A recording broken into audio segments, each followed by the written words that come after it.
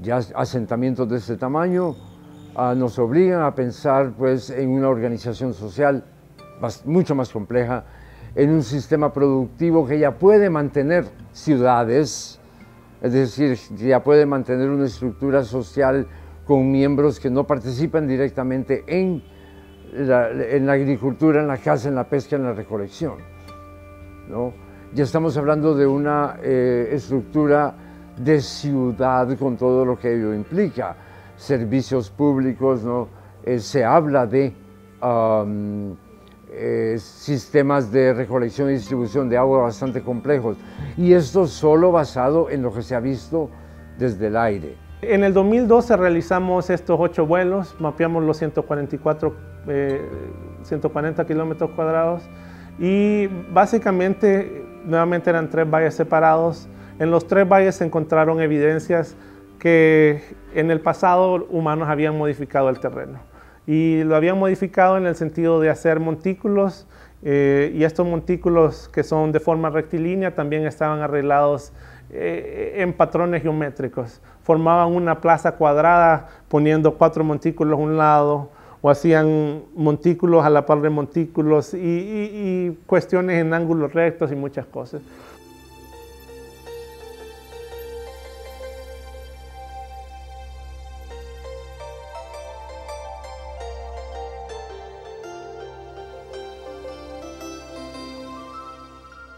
las poblaciones eh, mesoamericanas fueron muy beligerantes en algún tiempo, pero eso no quiere decir que el territorio estaba vacío.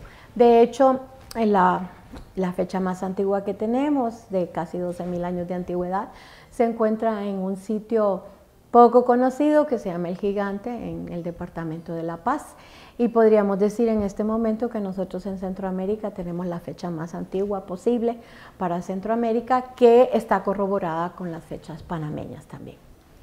Quiere decir esto que nuestro territorio ha estado ocupado desde por lo menos hace 10.000 años.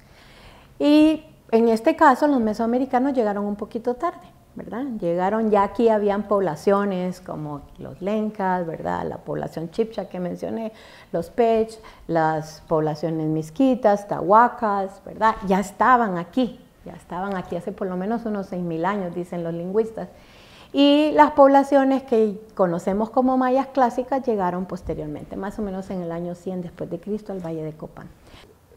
Honduras es, um, está en una situación muy especial, muy... Eh, podríamos decir, única en el continente por ser eh, un punto de contacto, de traslape entre varias culturas.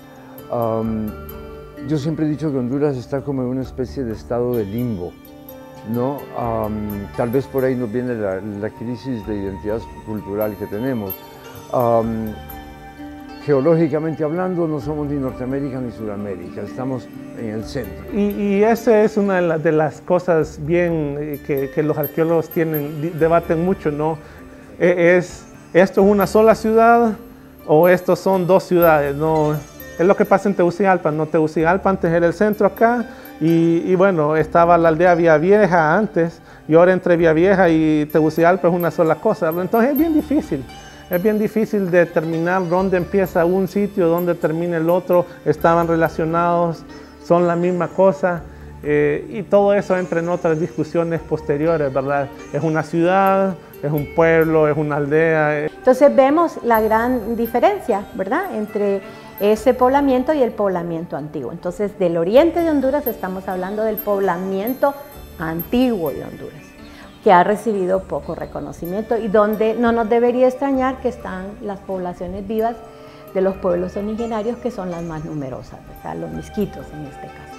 O sea que eh, los portadores de cultura en esta región que ahora ha recibido mucha cobertura mediática, ¿verdad? el oriente de Honduras en general, se trata de poblaciones muy antiguas, eh, y que muy probablemente dominaron ese territorio, lo conocieron muy bien, lo utilizaron para su sobrevivencia y luego por razones que no conocemos, y aquí se necesita la investigación, lo abandonaron.